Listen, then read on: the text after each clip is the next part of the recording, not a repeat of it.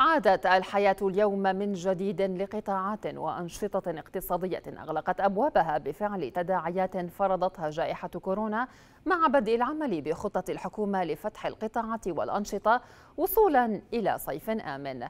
الأندية الرياضية فتحت أبوابها بناء على قرار الحكومة بفتح القطاعات شريطة الالتزام بالتعليمات والبروتوكول الصحي. كاميرا الرؤيا التقت مالكي نواد رياضية ومدربي لياقة بدنية في محافظة إربد حيث أعربوا عن قلقهم من تردد المواطنين من الإقبال على النوادي خوفا من عودة الإغلاق. في حال ارتفعت أعداد المصابين بفيروس كورونا مجددا. الحمد لله على فتح قطاعنا. ببارك لأصحاب النوادي.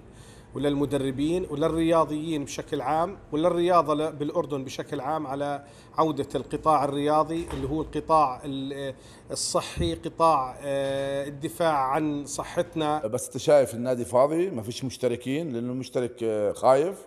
بقول لك بدفع اشتراك وبسكروا الأندية فمتخوف المشترك. وبالنسبة لصاحب المنشأة مش رحمنا.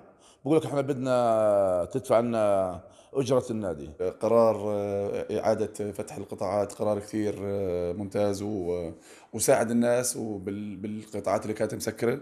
أساس يقدروا يرجعوا يشتغلوا ويعوضوا الشيء اللي فاتهم. الشيء الثاني اللي قاعد بصير إنه ممكن تكون الناس والأهالي إنهم لسه خايفين من نتيجة إصابات الكورونا. الإغلاقات الثلاث المر السابقة عملتنا مشاكل اقتصادية ونفسية. نتمنى ما يعود هذا الإغلاق.